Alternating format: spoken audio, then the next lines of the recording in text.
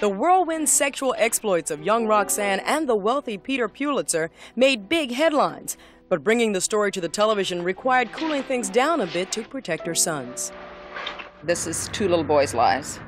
This is what this book is centered around. It's not about Herbert or myself. This is about a child custody case, contrary to what everyone wants to think it's about. The made for TV movie was based on her best selling book, The Prize Pulitzer, and covered her life from age 22 through her sensational divorce at 30 it really hit me because the visual was very hard. The visual I wasn't prepared for because I'm just used to black and white print.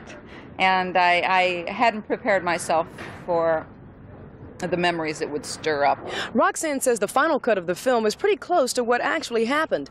But now it's time for her to get on with her life.